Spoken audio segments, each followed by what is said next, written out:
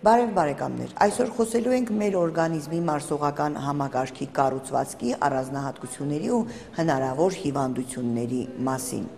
Ինչպիսին է մեր մարսողական համակարգը եւ ինչպես վերաբերվենք նրան։ Մարսողական համակարգը կազմված է մարսողական տրակտից եւ այլ օժանդակ օրգաններից։ Մարսողական տրակտը գրեթե 9-ից 10 մետր երկարություն ունի։ Առանձնացնում ենք նրա 3 բաժին՝ վերին հատվածը, բերանպանային մասն է դա եւ կերակրափողը, միջինը, ստամոքսը, բարակ հաստաղիքները, լյարդը, ենթաստամոքսային գեղձը, լեղապարկը եւ ստորին հատվածը, դա ուղիղ աղիքի վերջնահատվածն է, որտեղ կատարվում է հիմնականում կղանքի դուրս բերման ֆունկցիան։ Յուրաքանչյուր հատվածը կատարում է որոշակի ֆունկցիա։ Վերին հատվածում հիմնականում սնունդը ենթարկվում է մեխանիկական մշակման, միջին հատվածում հիմնականում կատարվում քիմիական ֆիզիկական մշակման, սննդանյութերի ներծծում է կատարվում եւ կատարվում է կղանքի ձևավորման ֆունկցիան։ Մարսողական տրակտի ամենաերկար հատվածը բարակ աղին է, հաստաղինն էլ ունի մոտավորապես 1.5-2 մետր երկարություն։ Ստամոքսը մկանային օրգան է, սնամեջ է, մոտավորապես 25-26 սանտիմետր երկարություն ունի, տարողությունը գրեթե կես լիտր է, բայց լցված ժամանակ հնարավոր է հասնի անգամ 4 լիտրի։ Կատարում է հիմնականում սննդի պահեստի, նրա մշակման եւ տեղափոխման ֆունկցիա։ Տեղափոխվում է սնունդը ստամոքսից 12 մատնյա աղիք, որը այդ միջանկյալ հատված է, դեպի բարակ աղիների արդեն անցումով 12 մատնյաղիկ անվանումը մասնագետներն այսպես են մեկնաբանում մեր մարսողական համակարգի այդ հատվածը 12 մատնեմատի երկարություն ունի։ Այստեղից էլ առաջացել է հենց անվանումը։ Հիմնականում ունի նալի տեսք եւ ընդգրկում է ենթաստամոքսային գեղձը իր մեջ։ Կազմած է մի քանի բաժիններից, նրա վերին մասը, որը ավելի լայն է, կոչվում է ամպուլա կամ կոճղես, վայրեջ հատվածը ստորին հորիզոնական եւ նորից ծունկ է տալիս ու վերել մասին է անցնում։ 12 մատնի աղիքի վայրեջ հատվածի վրա կա պտկիկ, որի վրա սվինկտեր, կոչվում է օդի սվինկտեր, այդտեղ է բացվում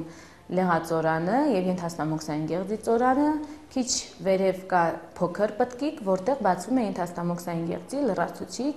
ծորանը։ 12 մատնյա աղիքը դիրքի հետ կապված վնասակար գործոններին առավել հաճախ է ենթարկվում։ Այն նրա միջավայրը հիմնականում հիմնային է, իսկ ստամոքսում միջավայրը թթվային։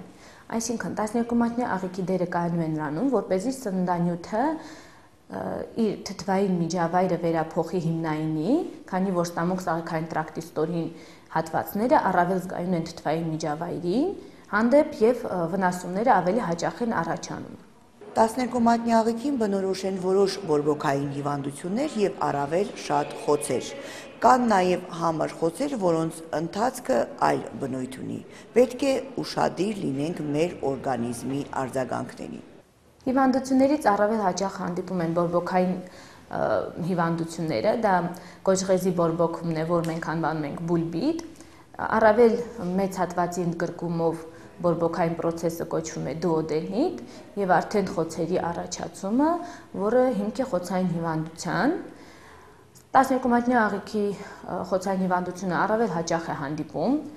Նրա պատճառները բազմաթիվ են։ Խոցային հիվանդության առաջացման մեջ դեր ունի նաև ժառանգականությունը, ինչպես նաև սննդակարգի խախտումը, այսինքն կոպիտ, կծու, թթոց սննդի չարաշահումը, երբ ինչպես նաև նյարդային համակարգի լաբիլ վիճակը, երբ առաջանում է սպազմ, անոթային համակարգի կծկում եւ արյունամատակարարման թուլացում է լինում, այդ դեպքում նույնպես առաջանում են դեֆեկտներ, այսինքն խոցեր։ Հիմնական դերը տալիս ենք հելիկոբակտեր կոչվող բակտերիային, այն հայտնաբերել են 1979-1981 թվականներին Մարշալ եւ Ուորեն գիտնականները եւ արժանացել են հատուկ Նոբելյան մրցանակին։ Վարակվածությունը հելիկոբակտերով գրեթե 80% է, բայց ոչ բոլորի մոտ է առաջանում հիվանդություն, քանի որ նպաստավոր պայմաններ են անհրաժեշտ։ Խոցային հիվանդությունը հիմնականում առաջանում է պաշտպանական եւ ագրեսիվ գործոնների հարաբերակցության խախտման հետևանքով եւ ագրեսիվ գործոնների մեջ առավել կարեւոր է աղաթթուն, հաշկլորը, Ինչպես նաև նպաստավոր պայմաններ են առաջանում ստրեսների, դեպրեսիաների դեպքում, Ծխելը վնասակար է, քանի որ նիկոտինը բարձրացնում է աղաթթվի քանակը եւ աղաթթուն ագրեսիվ ֆակտոր է հանդիսանում։ Ալկոհոլը նույնպես ագրեսիվ գործոն ենք համարում, ինչպես նաև դեղորայքը եւ հատկապես նրա անհարկի կիրառումը։ Խոցային հիվանդության ժամանակ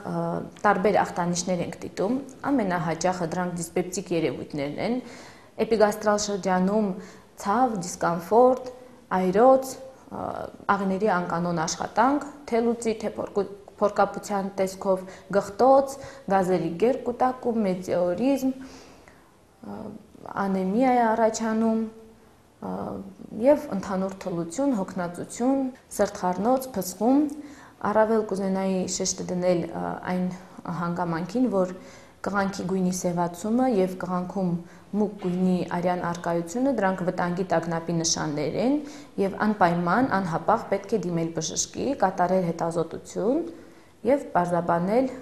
դրանք արնահոսության նշաններ են, անպայման պետք է արնահոսության պատճառը աղբյուրը գտնել։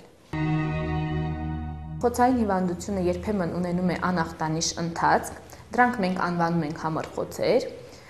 Շատ կարևոր է այստեղ բժշկի դերը, եւ ժամանակին ախտորոշելը, քանի որ ունի բարդություններ, դրանք արնաոսություններն են, թափածակումը,